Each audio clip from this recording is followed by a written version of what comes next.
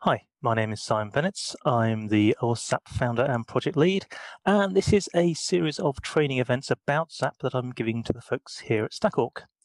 And today we're uh, going through WebSockets. So for those of you who don't know, WebSockets is an HTML5 feature it is full duplex communication. So once the channel's been opened, then either side, either the browser or the server can send information. We're, we're not waiting for a kind of, there's not the request and response that you get with HTML. Either side can send as many messages as it wants, whenever it wants. Uh, so one problem with WebSockets is that um, the structure is text really. So there's no structure at all. So it, different applications might use JSON, XML, comma separated variable, or custom um, structures, which is which are actually very common, or seem to be ones we come across most. Uh, so Zap was one of the very first security tools to support WebSockets, and I believe it's still got one of the best support. Um, so it includes all the commercial security tools as well. I think Zap still has the best, or one of the best, if not the best support for WebSockets. So let's have a look at it. And for that, I will share my screen. So this is, so I'm going to demo, um, obviously with ZAP 210 as usual. And what I'm going to do is I'm going to use a site which is called websocket.org. So, and this site can sometimes um, take a little while, so it'll take a little while to load. But if we have a look here, we'll see that we're getting a load of um, HTTP requests as usual, and we're seeing things in the site tree hopefully it went too long, take too long. It's starting to get there. I said sometimes this site can take a little while to to load, and I don't think that that doesn't seem to be Zap's problem. It seems to be a, a fairly slow site, but it's just for tech, um, testing WebSockets, so it's kind of useful to use. As you can see, we're yep, loading things, and it's nearly there. We can actually see stuff, and great, the browser supports WebSockets. So normally, uh, most sites would automatically set up a uh, WebSocket connection when they want to use it. In this case, it's a test site, so you've got to manually connect. So what I'll do, so this might take a little while, but I will connect and then try and send a WebSocket message. And it's connected and sent. And what you may have noticed is in Zap, we actually switched over and we got a new WebSocket tab. So this will appear um, the first time when you start Zap and uh, when WebSocket messages start happening. So if you actually close it and then it won't reopen by automatic, I don't think. So what we'll see is we can see uh, the channels, so we can see all of the channels that are available, and we can see all of the messages. And if you select any one of those, then you'll see the message, and you can see it's pretty unstructured. So as usual with Zap, we have loads, well, quite a few right-click options. So if you right-click on a message, we'll see we've got open resend, and hopefully I can resend it with Zap. And that didn't appear to do anything, but if we go over to the browser, we will see, so this is a message on the, this is just a pane on the browser where we can see the WebSocket messages, and you can see we actually sent one from um, from this page and received it. But in this case, we received one without sending it. So actually sent a new message, WebSocket message from Zap. So one thing you can do, so you'll see all of the different channels here. There's only one at the moment. And you can see this one is actually connected um, because the two plugs are together. If this gets disconnected, then they will separate. And if you select a particular channel, then you can actually see the handshake. So what happens with WebSockets is there is an HTTP request, and it's the request is to upgrade to WebSockets. So you can actually see that request if you select a channel and then show the handshake. Now, what we can also do is in this panel, we can filter things. So we've got a lot of messages going on. You can show whatever you want. So we can filter by the different opcodes. So WebSocket supports text binary. There's a close and these pings and pongs that you've seen down here. Um, we can filter on outgoing or incoming messages, payload patterns. So I'll put zap in there and apply, and we'll see we just get the, the, the message with Zap in. So that helps you filter, um, find the things you want. So one of the other things we support in Zap, um, as it's intercepting proxy, one of the standard things you often want to do if you're doing manual pen testing is change HTTP messages on the fly. And we can actually do that with WebSockets as well. I'll just check what options I have. Okay, we've got it enabled on all breakpoints. I'll go through those in a minute. So what happens with um, normally, so if you want to break on everything, there's this option here, set breakpoints on all requests and responses. So I'll enable that and try and send something. And we will see we actually get switched over back automatically back to here. See rocket with zap again. And in this case, I will submit and continue. And what we should see is we actually received this rocket with, so we actually sent um, rocket with HTML5, we intercepted it on the fly and changed it to rocket with zap again. Now, if you actually put um, a global breakpoint on, then you will um, get you'll intercept all of the HTTP requests, all the web sockets. So you know it, could be a load of things going on that you don't want to see.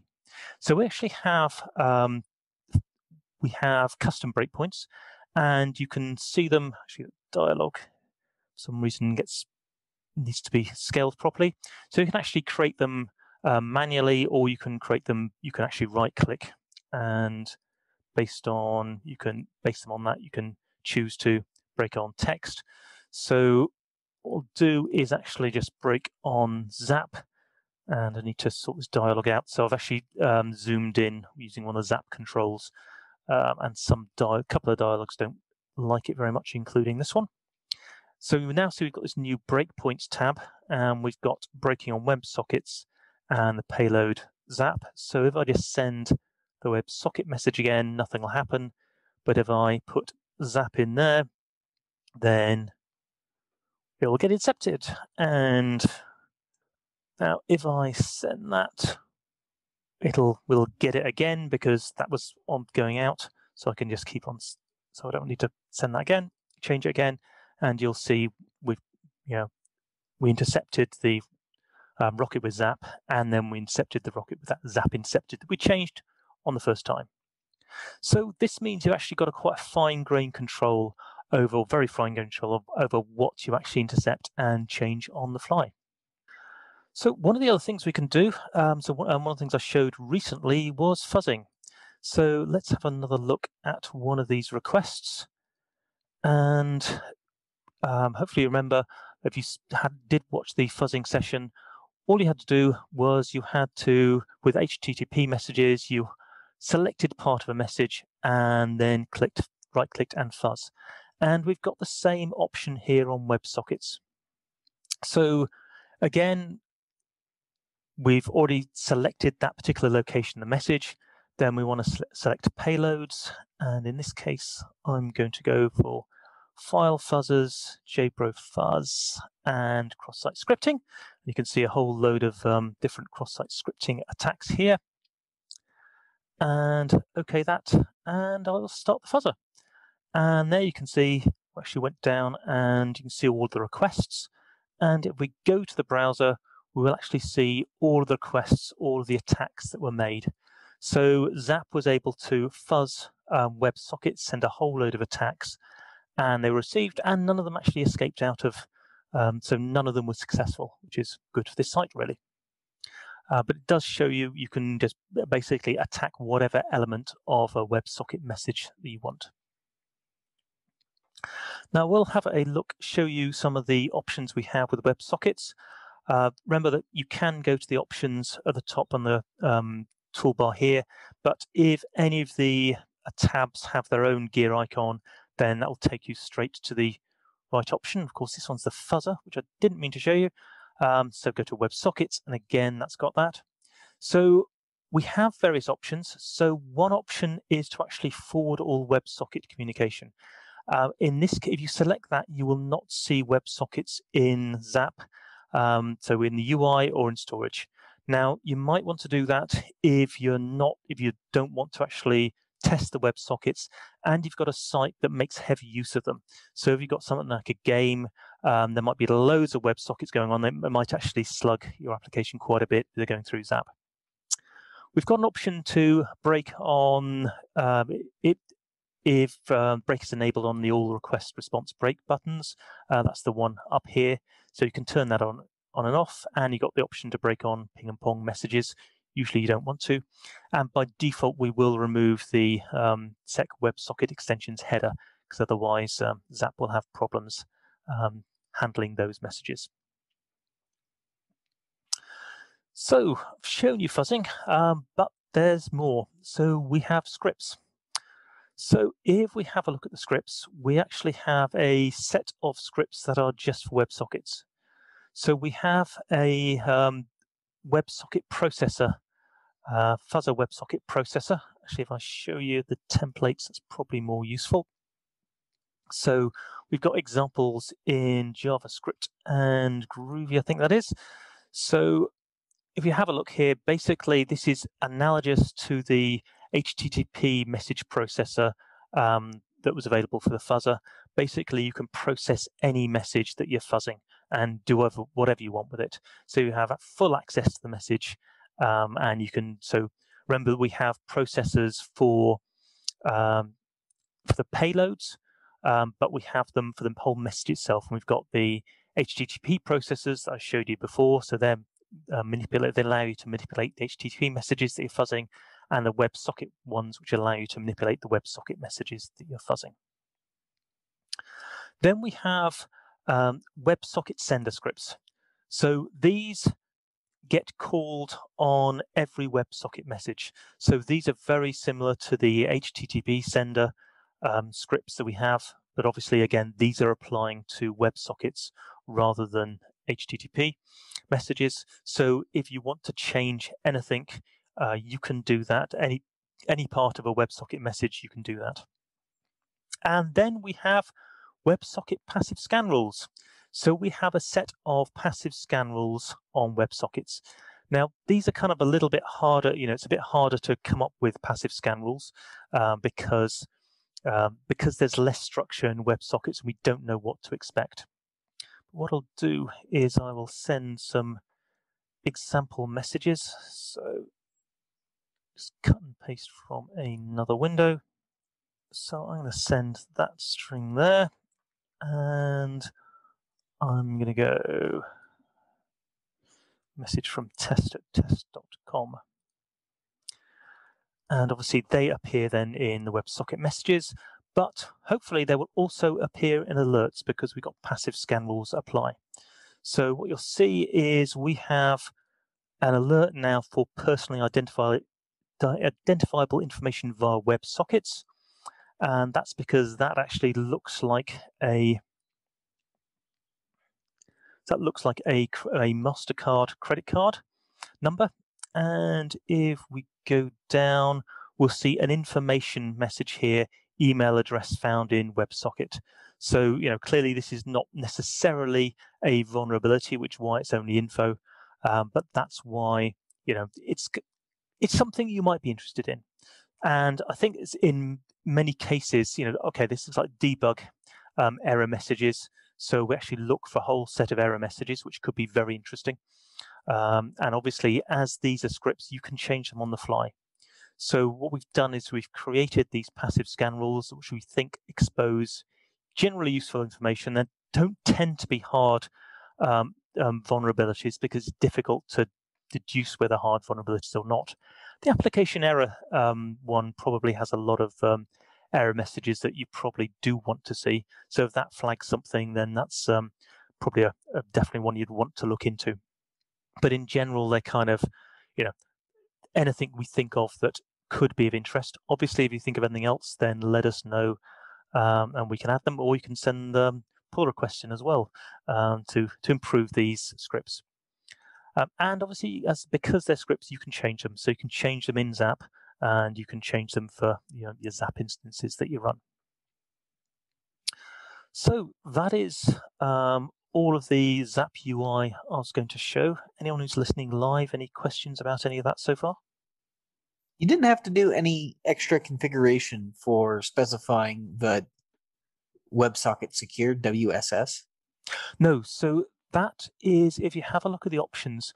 Um, so we removed the sec WebSocket extensions header um, because we're kind of manning the middling of your browser and your um, server.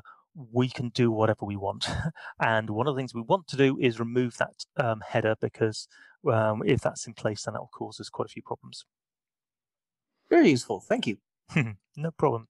Okay, so what I was going to do is actually show you the API quickly. So, so of course you can just point your browser directly at Zap, and we scroll through the components. We'll see WebSockets and WebSocket that is, and so we've got some views and some actions. So you can list all of the channels. So you can see we've just got that one channel there at the moment. And you can actually look at individual messages. Um, so you can specify a specific message. You can list all of the messages. We can send text messages. We can't send binary messages at the moment. And you can set a breakpoint and then retrieve the break message as well.